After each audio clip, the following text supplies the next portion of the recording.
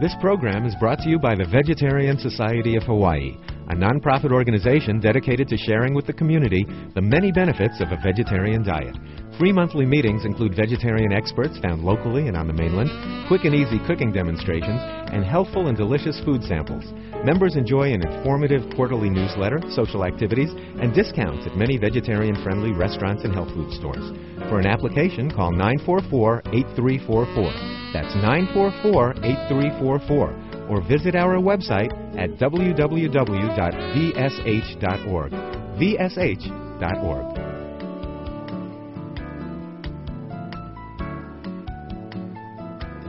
I'd like to welcome you all to the monthly meeting, the monthly public lecture sponsored by the Vegetarian Society of Hawaii. Thank you very much for coming. The Vegetarian Society of Hawaii is a not for profit volunteer organization founded in 1990 for the purpose of supporting the environment, promoting human health, and promoting animal rights by means of vegetarian education. It's one of the largest local vegetarian societies in North America, now with over 1,800 members. Is anyone here for the first time? Could you raise your hand? Okay, that's great. How many are members of the organization? Not so many, and that's good too. Not that we don't like to see our members, but it's always good to have new friends. I'd like to encourage everyone who is not a member to become a member of the Vegetarian Society either tonight, we have our membership flyers over on the literature table, or you can take one home, fill it out, and send it in. There are many benefits of membership in the Vegetarian Society. Now it's time for tonight's special speaker. We're delighted to have with us Dr. Neal Pinckney. Dr. Pinckney has a remarkable story to tell us about his first-hand experience with heart disease. He'll discuss means of preventing and reversing the devastating effects of heart disease, diabetes, and high blood pressure while losing weight in the process. Dr. Pinckney is a graduate of the University of Southern California and Oxford University, where he received his PhD in clinical and educational psychology. He has completed postdoctoral work at Stanford University and at the University of Vienna. He's professor emeritus and former chair of behavioral sciences at California State University, Sacramento, and he has taught at the University of California Davis Medical School. He also had a private practice in family and individual therapy and psychoanalysis for nearly 30 years. In Hawaii, he's founder and director of the Healing Heart Foundation. Please welcome Dr. Neal Pinckney.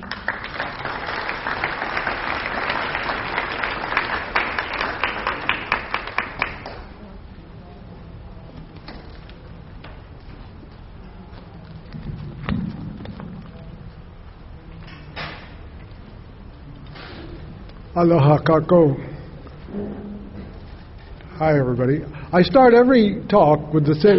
Can you hear me okay? I, I want to get it just about the right distance. I start every talk with the same comment. My name is Neal Pinckney, and I'm not supposed to be here tonight.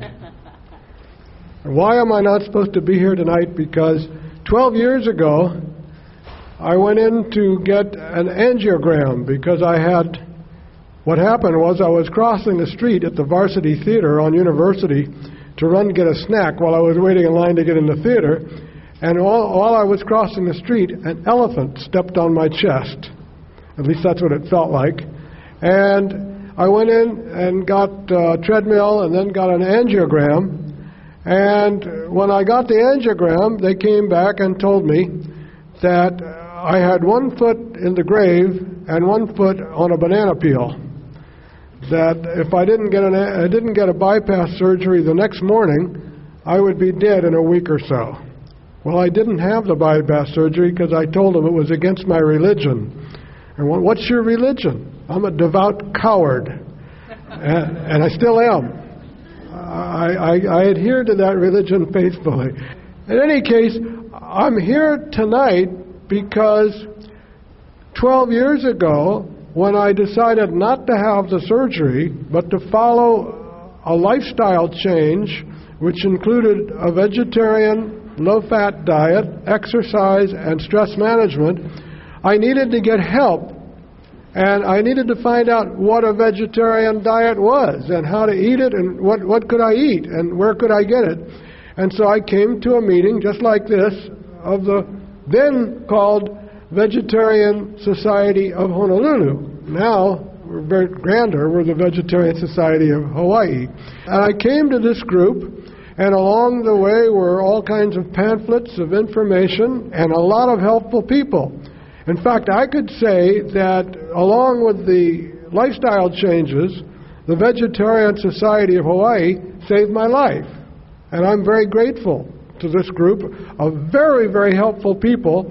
Uh, when you have a question, if you see one of the members with the little, I think they're the green name tags, aren't they, Alita? The, the members and board members and volunteers, they really do help give you information. At least they did help me. And the president at that time was Ruth Heidrich, and she became my fitness coach and inspired me uh, to get in better shape. I lost 40 pounds, went from 38 to 32 in my waistline, and felt a whole lot better. Now, give you an example of how this kind of lifestyle change can really make a difference. I couldn't walk from here to that door without having to sit down. I had such terrible pain. Seven months after I joined the Vegetarian Society and started on this lifestyle, I finished in the middle of the pack of the Great Aloha Run. That is, is an amazing difference when you think about it. Well, what I want to talk about tonight are a couple of things. It's wonderful to be a senior. It, I, it, I didn't think I would enjoy it so much, but now I have an excuse for forgetting everything. It's great. Let me ask how many people here have high cholesterol? A lot of you. How many people don't know what your cholesterol is? You find out. It's a really good thing to know, and it can help save your life if you do something about it. How many people here have high blood pressure? How many people here have diabetes? How many people here want to lose some weight? Would like to lose some weight? Okay, you can do all of those things. That is, you can reverse heart disease, you can lower cholesterol, you can lower blood pressure, you can. I've had people in my support groups, and I'll tell you about them in a minute, but I, I do 10 week support groups. And if you're interested in any of those aspects, on the 23rd of this month, I'm starting a new support group at Kaiser Honolulu Clinic on Pensacola. It's free. It's on the 23rd, will be the first meeting at 6 o'clock.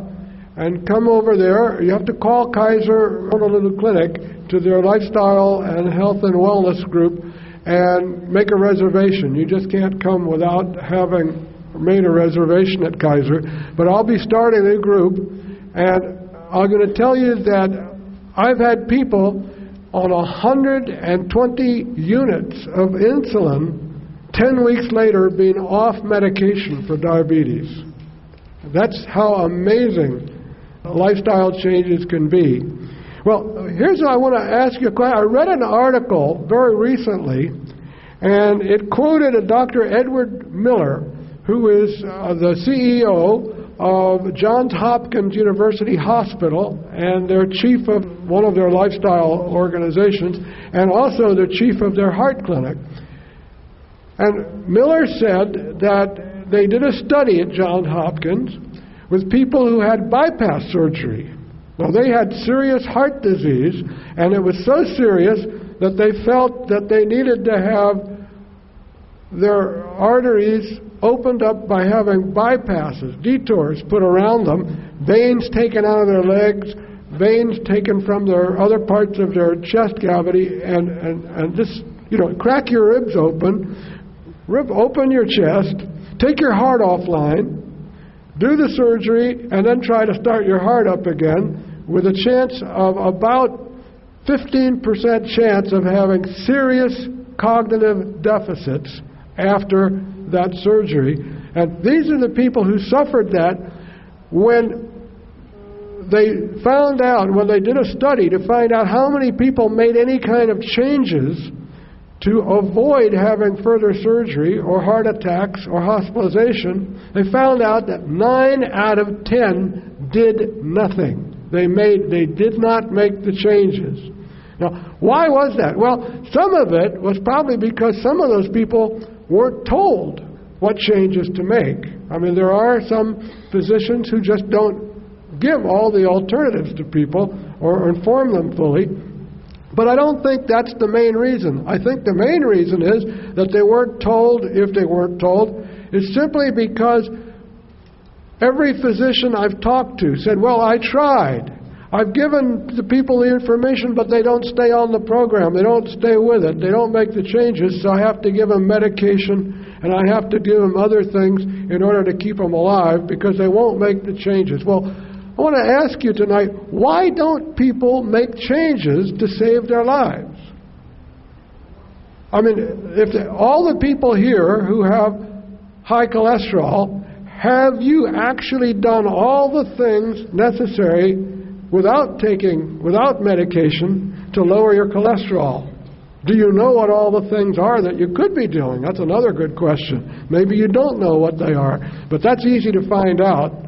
In fact, if you want to find out what you can do, if you write this down, www.kumu, K-U-M-U, dot O-R-G, www.kumu.org. And that's a website, the Healing Heart Foundation website, and on it there are there is a full website with my book, The Healthy Heart Handbook, online for free. You don't have to buy it, although you can get it at the library. Every branch of the Hawaii Public Library has a copy or two, so you don't have to go out and buy it. Not, isn't that nice? I'm, you got a speaker coming to you tonight that isn't trying to sell his book over there. I don't. I, I don't like selling books, but they're available on the website as well. Uh, although uh, you can buy them at Amazon a whole lot cheaper because they have used ones on Amazon for two or three dollars. So, so if you want the book, go to Amazon. Anyway, if if you go there, you'll find out what it is you need to do and how to do it. But I'll go over that a little bit tonight. But I wanted, to, I, I started looking as a psychologist. I started looking, well, why don't people make these changes? I mean, I was told I was going to die if I didn't have a bypass, and I didn't have the bypass, and I went and made the changes. And as a vegetarian, you can't go whole hog, you have to go cold carrot. Uh, can't do anything with hogs as a vegetarian. So I did, when I, when I found out, I followed the plan of Dr. Dean Ornish, and I'll tell you a little bit more about him in a minute. Dr. Ornish talks about changing your diet, adding regular aerobic exercise, and stress management. But in his diet at that time, he no longer does, but in his diet at that time, he allowed one serving of any food that had egg whites, not egg yolks, but egg whites, and non fat dairy, one serving a day. He no longer recommends that anymore, but he did at the time, 12 years ago. Well, Dr. John McDougall, some of you know from, from being here in Kailua or, or from his national books, Dr. McDougall said, why not just dump all the eggs and the dairy and, and go all the way vegan and no animal products? So I just did that. I figured it's not going to be that much more to drop the eggs and the non-fat dairy, so I went completely vegan. And I found out an amazing thing that Dr. McDougall later told me was very common. I used to wake up with my nose full and blew my, blow my nose and fill a half a dozen Kleenexes every morning. After I dropped the egg whites and the dairy, that stopped.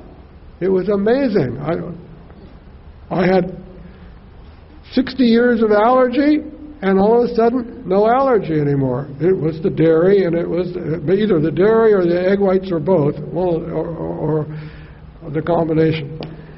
So I want to say, well, why is it that people don't make the changes? And I have some, I, I did some little research and I did a little bit of, of thinking about it, and I came up that there are some very common misconceptions about why people don't make changes and why they think changes are hard and, and those and they really are misconceptions. They're, they're, okay, the first one is that personal crises are necessary to make changes. Well, if that were so, wouldn't you think those 700 people who had the bypass and didn't and and and and 630 of them didn't make any changes, you'd think that 700 people looking at death or open heart surgery again would think you think they that's a big enough crisis to make changes, but they didn't make the changes. So it isn't the personal crisis that causes you to make the changes. It's what you do about the personal crisis, not not the crisis itself. The second thing was knowing the facts will give you will if people know the facts, they'll make the changes. Want to bet? If people know facts and make changes, how come there are still smokers left? Think about that. If, every, if, if people knew the facts and made the changes, there wouldn't be a single cigarette left in the United States. So that's one of the things that is, is really a misconception. In fact, research has shown that appeals to emotion work much better than factual information for people to make major changes in their life. The third misconception is that fear is a major motivator. Well, I guess to some extent I was I had fear of dying. I think maybe that would help me motivate me, but I don't think fear is the best motivator. I think instead of worrying about dying, looking at a positive future is much more effective. And, and I can show you how Dr. Dean Ornish actually made a difference that way as well. The fourth one is that people have their mindset. They're, they've built up habits over a lifetime they can't change. It's too hard to change because their mindset. If you think about this, when people have accidents and lose the function of part of their brain, it doesn't take very long for most people, if the damage wasn't so severe, for other parts of the brain to take over those functions. People learn how to do things a new way. People who lost the use or, or the ability to move certain parts of their body are able to use other parts of their brain for speech, for move, for motion, for, for, for all the sensory experiences. And so, not everybody does it all the time, but, but we know that people can make change. It doesn't matter how old you are, it doesn't matter how habit ridden you are, you can make changes, and, and there's no reason that age doesn't keep you from making changes, nor does, does experience keep you from making changes. And the last one is the most interesting of all. People say, well, great big changes are much harder to make than little changes. So just start off doing a little bit. Like instead of becoming vegetarian, just give up beef. But you can eat chicken and fish and pork and lamb and but it doesn't turn out to be true. The bigger changes are actually easier to make than little changes. And, and research has definitely shown this that the, the more drastic the change is, the more people are likely to succeed in that change because little changes don't give the rewards. If I had made little changes after they told me I was going to die if I didn't have a bypass, and I just didn't lower my fat very much, and I didn't, and I started eating maybe just chicken instead of chicken beef, which has about the same amount of cholesterol as you know chicken and beef anyway, and I still had the pain, and I still couldn't get across there without having to sit down on the floor because the pain was so severe, those changes wouldn't have been rewarded. And I would have given up on them probably. But having made the major changes, I had the major benefits. And the major benefits motivated me to continue to do that. So here's the question then. If, if if these are common misconceptions, how come Dean Ornish, 25 years ago, took a large group of people with serious heart disease and instead of giving them bypass surgery, gave them a low fat vegetarian diet, regular aerobic exercise, and stress management and support groups, and 77% of those people were still on the program two years later, Over 70 were on the program 10 years later, and a large proportion of them who are still alive, who haven't just, you know, got in their 90s and, and eventually just died of old age. There are, uh, I met a number of people who started on that program 25 years ago and are still on the program and are healthy and are volunteering now to come in to his program to help other people who are new to the program and tell them about their experience. I had the very good fortune of meeting Dr. Ornish, and he heard about my support groups here in Hawaii and asked me to join his organization, and I started doing support groups with him, the weekly, the one week residential retreats in California with him. And so I've gotten to very, very lucky because his pioneering research is basically what made me not have the bypass and, and go ahead and, and uh, do this. So if that's the case, how come these 77 people, percent of the people two years later, over 70 percent five and ten years later, and a very high proportion of the people, even 25 years later, are still on the program. I've been on it 12 years, and I've never felt better physically than, than I feel today. When I, I don't, you know, I think, well, gee, wish I wish I was 40 years old again. No, I don't. I was not very healthy when I was 40, but I'm really, I can do things now I couldn't possibly do when I was 40. So those are the things. Okay, what are what is the program? What is it that you would be doing if you were to follow a heart reversal or a heart prevention program? And by the way, there's a significant difference in one aspect between reversal and prevention. On a reversal program, that is, people already have high cholesterol, high risk factors, heart disease, they, they know they have some blockages those people limit their fat to 10% of the calories they eat. Well, you know, how do you do that? You don't count calories. You don't worry about, you know, calculators and things like that. If you buy something that has a nutrition facts label for every 100 calories, you just don't want more than one gram of fat. It will have the number of grams of fat and the number of calories. Just avoid anything that has more than one gram of fat per 100 calories. Actually, that gives you about 9% calories from fat, but the manufacturers round off numbers, so you may be getting 10 or 11, but you're right down there at 10% that way. If you're just if you're just trying to prevent heart disease and you don't have any heart disease or any of the risk factors at the moment, 20% fat is what Ornish recommends, and he has shown that people who stay on the 20% fat usually never wind up developing blocked arteries or heart disease. So there's a significant difference. If you're reversing it, 10% of calories from fat. If you're just trying to prevent it, 20%. If you looked at the paper this week, you saw, did you see the article about the WELL diet, the W-E-L-L diet, the research in Australia?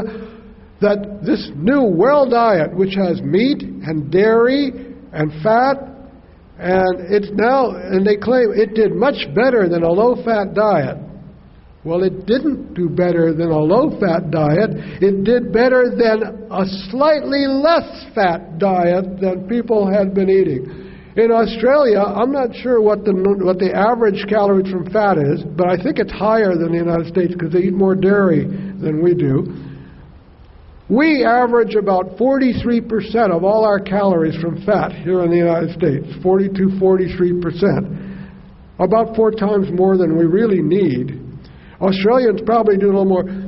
It, when they compared the new WELL diet, W-E-L-L diet, they compared it to a 30% fat diet. Well, 30% just doesn't do it.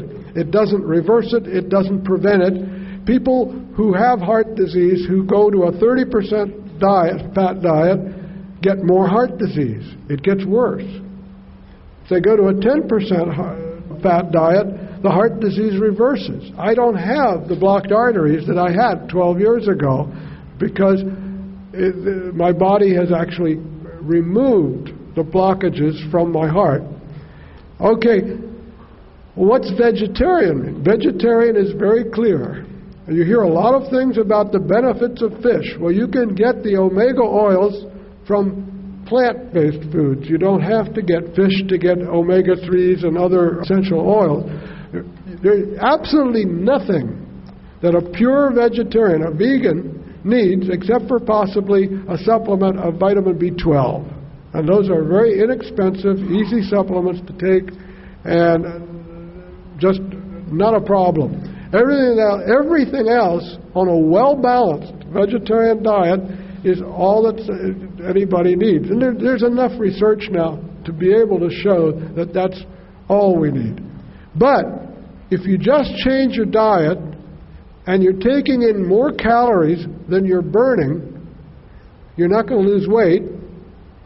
You're not going to do a lot about lowering your cholesterol because your fat is actually building up. You're putting fat in your body, and that fat is in your bloodstream. If anybody's seen Dr. Michael Klaper's video, A Diet for All Reasons, he has a place where he had, he was an anesthesiologist in a place where he drew blood for, for surgery the next day, and he looked at the blood, and there was a test tube and about half of the test tube was this thick yellow sludge in the test tube. And he went down and asked the patient what he'd done, and he said, well, he'd been to McDonald's and had a Big Mac and a chocolate shake and, and uh, French fries. And what it was is that yellow stuff that was making up half the volume of the sample of blood that took out of his arm was fat floating in the blood.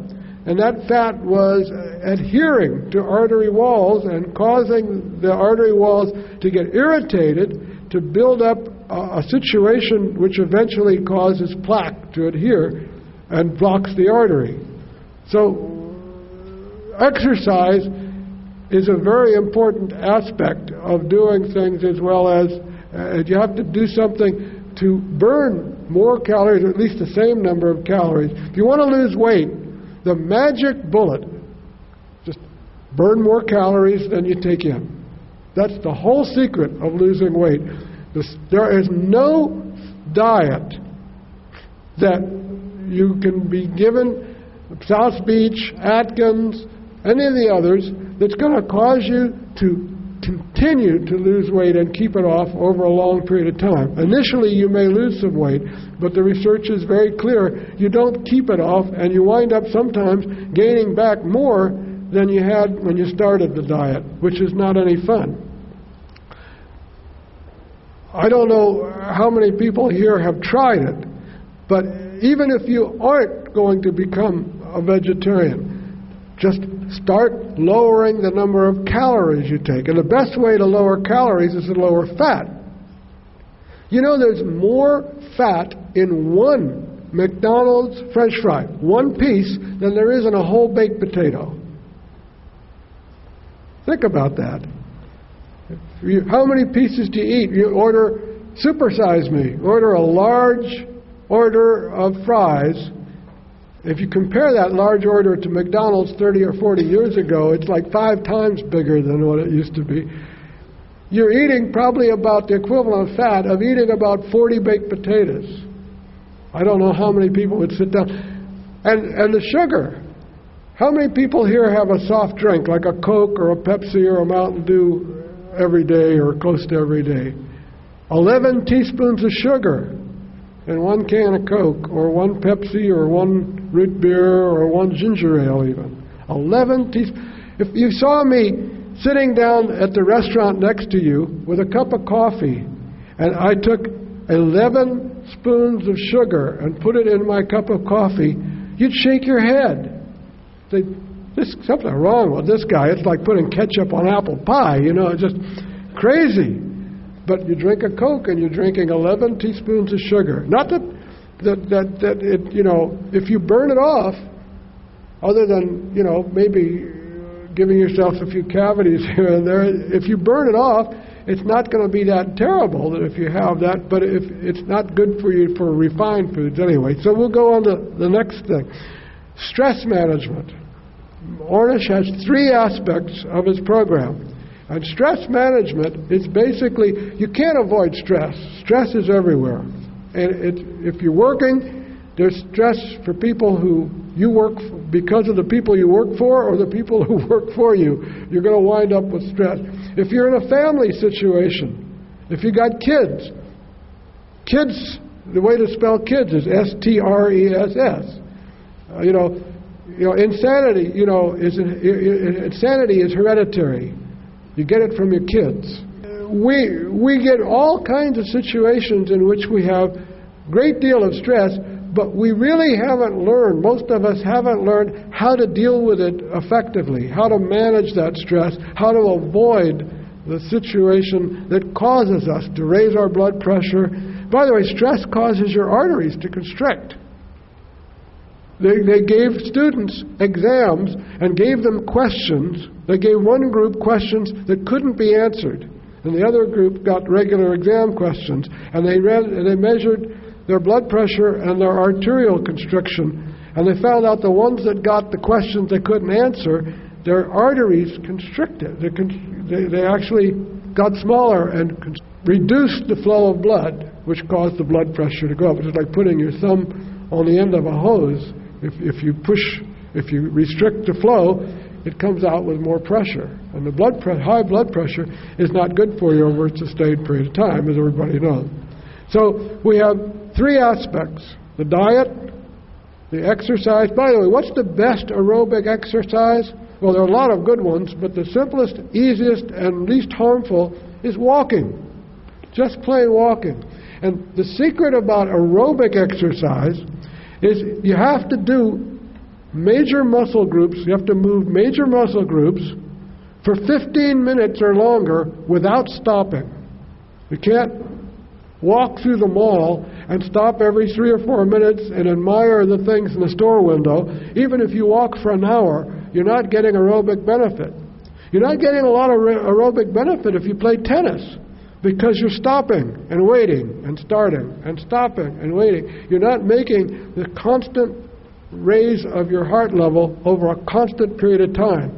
Now, Ornish recommends at least 45 minutes of aerobic exercise a day. That's a walk, but you don't have to do it in one shot. You can do 15 minutes in the morning and 15 minutes during lunch and 15 minutes in the evening and still get your 45 minutes. As long as you do it for 15 minutes without stopping, you get the cardiovascular benefit from aerobic exercise. I do walk one hour, four miles before breakfast every morning, seven days a week. And, and if you think about it, some people say, well, I do it three days a week. Well, three days a week is a lot better than none. But seven days a week is better than three, or four, or five, or six. And if you don't want to walk seven days a week, try six days a week. I'll tell you another stress reducing thing that I learned. I don't know if you've heard of Dr. Andrew Weil, but he's a very interesting wellness physician in Arizona. And I said, What can I do to lower stress? And he says, Go on a news fast. What, what's that? What's a news fast? He says, Just one day a week, just don't watch the television news. Just don't watch it. Well, I felt so much better not watching it one day a week. I tried it two days a week. I haven't watched a television news program at all in 10 years now. You know, I haven't missed it. I really don't miss it. Well, in fact, occasionally when some major disaster or something, I'll turn on the, you know, CNN or something to see. I think, how in the world do people sit there and watch that stuff all day? Some of it's really crazy. But I read the papers, I read magazines, I get information on the web, which is probably 99% false. Uh, I stay informed, but I don't watch television news anymore, and it feels great. There are a lot of other things you can do. The two most effective ways of helping you manage stress are yoga and meditation. And, and Ornish uses both of those in his support groups. He has a yoga master teacher, a physician, teach yoga to his uh, patients in his groups, and he also teaches them meditation. A lot of people say, "Well, meditation isn't that kind of that's kind of flower child hippie stuff?" I don't, you know, want to get that. Fortune magazine surveyed the CEOs of the top 500 corporations and found out that over half of them do meditation every day. Over half the CEOs of the five top 500 corporations. I hope it wasn't Exxon. It was one of them. He's kind of mellow, isn't he? But uh, he has a long time to sit there and think about it now. Anyway, again, if you're if you're interested in the book, read it online. Get it from Amazon for almost nothing, because you can get a copy of the book from my website, but you have to pay for what I paid for me to what I paid to print it. But if you go to Amazon, I've seen it down there for two dollars and ninety cents at Amazon. You have to pay three dollars po- your postage, but still cheaper than I could have printed it. So it's a good deal there. You can read it online. You can get it at, the, at every branch of the library as well. If you're interested in learning more about a support group and getting in it, call Kaiser. It starts the 23rd, two weeks from tonight. Kaiser Permanente, the Honolulu Clinic, and call their health and wellness office and make a reservation to get in the class. It's absolutely free. And it lasts for 10 weeks. So if you're interested or you know somebody with heart disease or high cholesterol, high blood pressure, diabetes, I'm, I'm not into weight reduction. There, there's too many people who have really serious medical problems. So I don't usually take people who are just there to lose weight uh, because otherwise the people who are there to really reverse heart disease wouldn't be able to get in. And I do what's called a triage. I, I take, I find out the people with the most serious medical problems and give them priority. And those who have lesser problems get lesser priority. If there's room for everybody, everybody goes. But but I only take about 25 people. And if you're interested, please tell either for yourself or your friends that if it's a couple, if there are two people, if one person does the cooking or the other person does any kind of support, I want both people there. It's not no use if if one spouse doesn't support the other. This is important because Ornish's success has probably greater than any other program that we have going today. And by the way, let me tell you about what happened to Ornish. Ornish convinced a major insurance company, a Blue Cross Blue Shield insurance insurer in the Middle West, to give it a trial for those people who were scheduled for bypass surgery, instead, put them through his group for a year. Well, it turned out that none of the people that went to his group had to have the surgery. All of them got better. Nobody died. And the insurance company saved an average of $30,000 in the first year in actual expenses. $30,000 per person. So now there are 17 major insurance carriers who are supporting Ornish's program all over the United States. And he's actually got it's gotten so big he had to actually farm it out to the Highmark Corporation, a health services company. The, one of the key important parts of Ornish's program is support, support groups.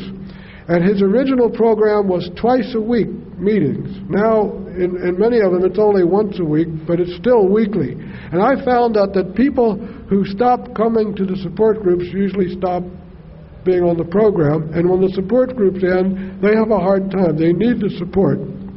You can get support. You can make your own support group. You can get two or three people together and meet once a week and talk about how things are going. Talk about new recipes. Talk about how to get certain things done. And it's amazing how networking and support really brings it all together and helps.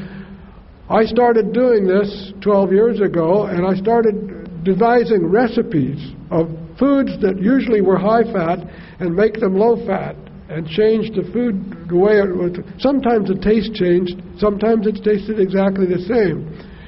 And I now have about 250 very low fat vegetarian recipes online on the website at www.kumu.org.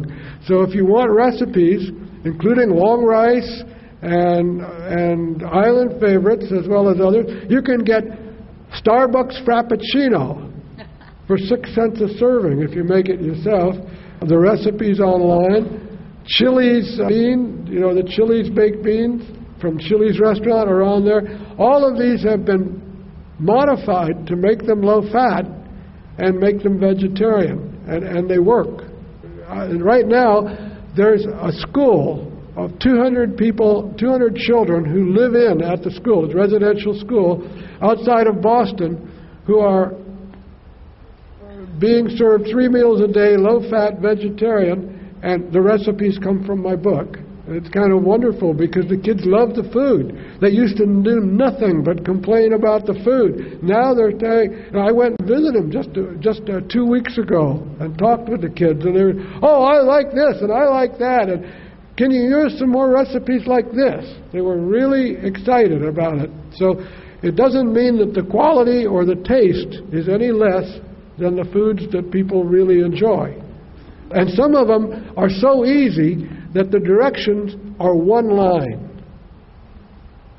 You know, most people who work can't play galloping gourmet when they get home. They, they need food to be able to make things that are quick and easy and still taste good and are still nutritious. And so that's the whole idea of it. And you'll find lots of other recipe books, both online and on the Vegetarian Society's website. All the books are available. All, all the books we used to sell, plus more, are available.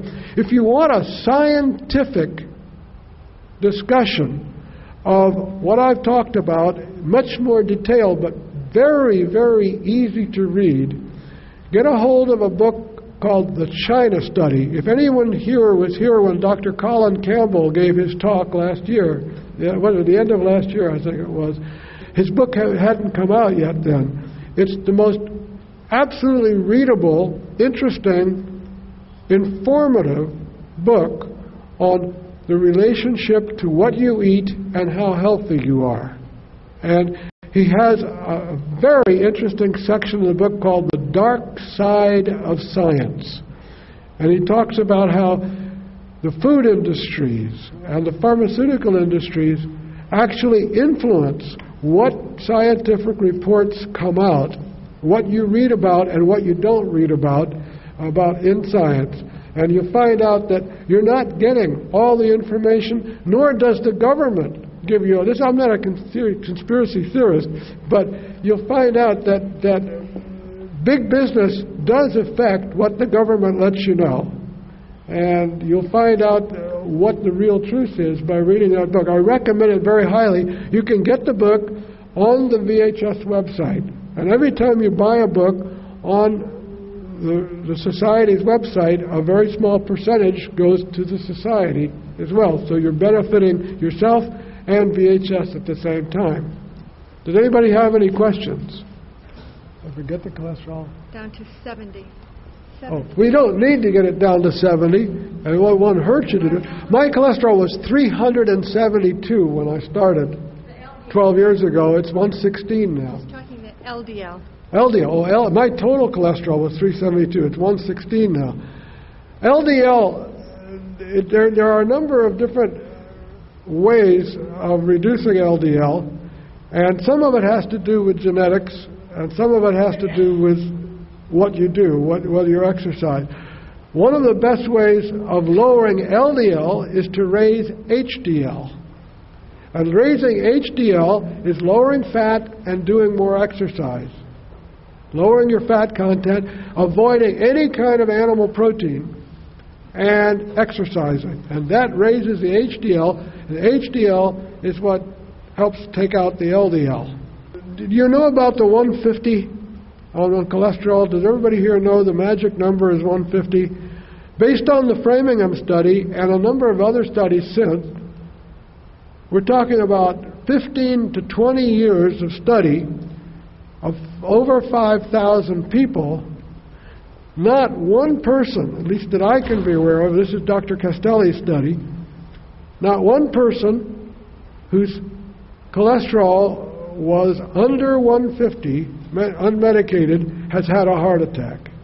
So, in essence, people who can keep their cholesterol under 150 are about as safe as it's humanly possible to be from heart disease, heart attacks. Now, that doesn't mean you can't have a valve problem or, or another situation, or you can't have congestive heart failure as a result of high blood pressure and things like that, but you won't get blocked arteries as a result of keeping your cholesterol down below 150. This is a sad commentary because so many doctors will tell you, oh, 200, 200, just keep it under, oh, it's 196, that's wonderful.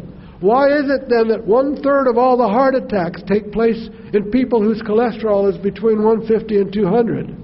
One out of every three heart attacks happens for somebody whose cholesterol is basically between 150 and 200. That doesn't make sense to tell people that. That's not wonderful. Don't give me a 1 in 3 chance of having a heart attack this year. I don't want those odds.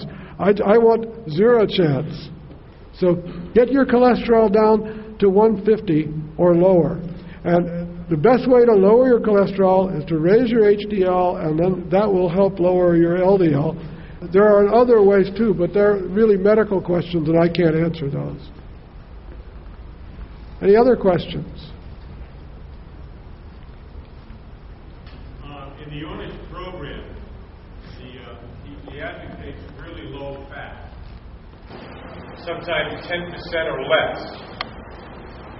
Could you comment on a number of studies I think have come out recently that seem to say higher fat is better overall health wise? Do you have any comment to make on that observation?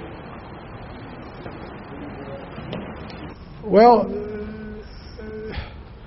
uh, I can read all kinds of things. I read it in magazines, I read it in journals. I read the wellness thing, but you know, it turns out that the wellness diet really isn't better than a low-fat diet. Their idea of a low-fat diet wasn't a low-fat diet. So I don't know. I know that there are about 25,000 people who are following the Ornish program and keeping 10% or less who are perfectly healthy.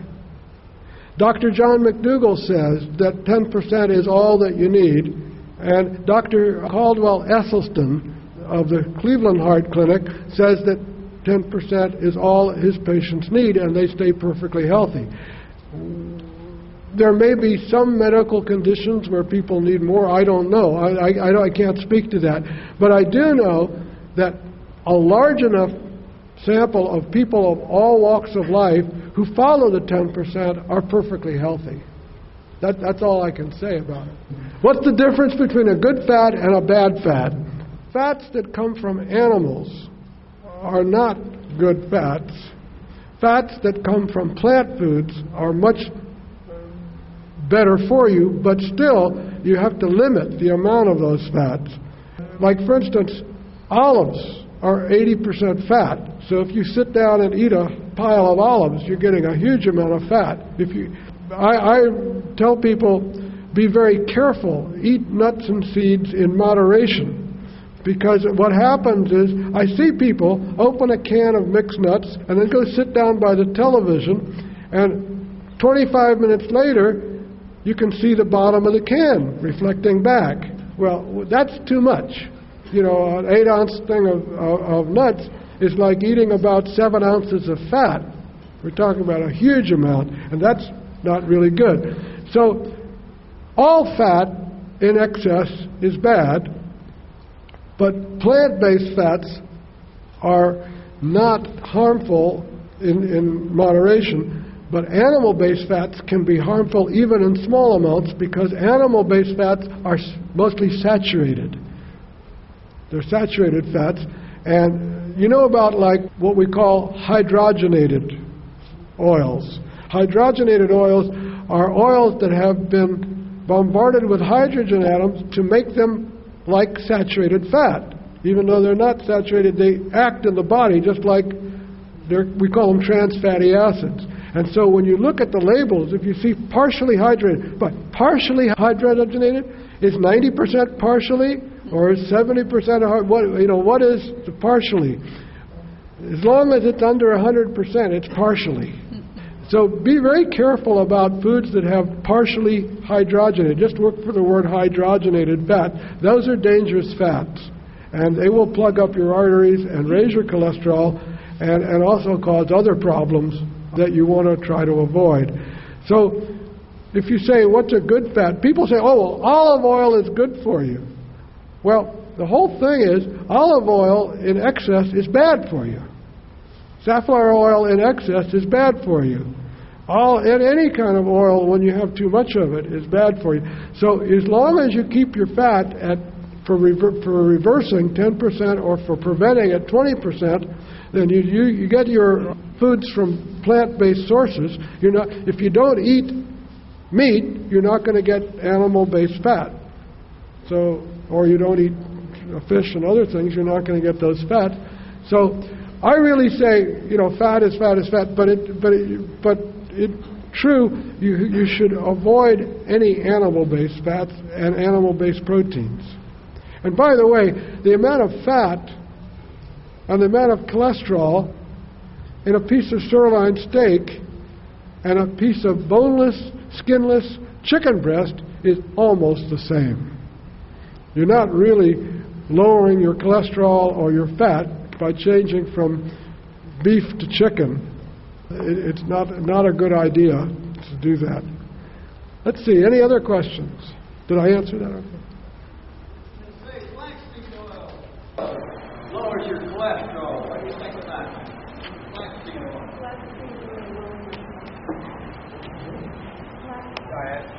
Uh, Flaxseed oil has omegas. It's one of the one of the richest sources of omega, although it has omega 3, 6, 9, you know, it has has some of the negative omegas as well as the positive omegas. What I read tells me that eating flaxseed is a good source of those oils.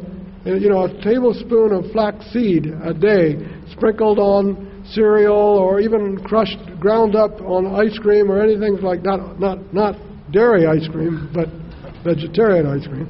Uh, you can get that at, at, at Down to Earth and other health food stores. The seed is much more beneficial, not only because it has the oils, but it has the lignans and the fibers that go with it. The oil itself, there's one study, it's controversial, but it shows that there's one study that says that men should avoid flaxseed oil because it has a tendency in some men to accelerate prostate uh, tumor growth. And so, where they, they don't seem to have a problem with women about it, the recommendation is if you eat flaxseed, to do it uh, in the seed, not the oil itself. South Beach diet, eggs and cheese. The South Beach diet is, from what I've read, I've never been on it, but from what I've read, it's probably the least of the bad diets.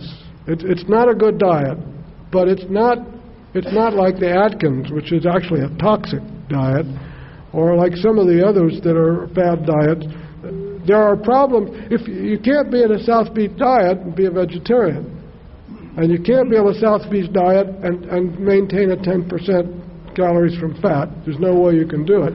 And so if you're trying to reverse or prevent heart disease, the South Beach diet doesn't work. If you're trying to lose weight, the evidence is not very good that you'll keep it off with the South Beach diet. But of, of most of the diets that are around, it's probably one of the least harmful of the not so good diets. Okay. Well, thank you very much. Thank you, Neal. That was just great. Uh, Neal's been a long-time Vegetarian Society supporter, and we really always appreciate having him with us. Thank you again for coming. This program is brought to you by the Vegetarian Society of Hawaii, a nonprofit organization dedicated to sharing with the community the many benefits of a vegetarian diet. Free monthly meetings include vegetarian experts found locally and on the mainland, quick and easy cooking demonstrations, and healthful and delicious food samples. Members enjoy an informative quarterly newsletter, social activities, and discounts at many vegetarian friendly restaurants and health food stores. For an application, call 944 8344. That's 944 8344. Or visit our website at www.vsh.org. vsh.org.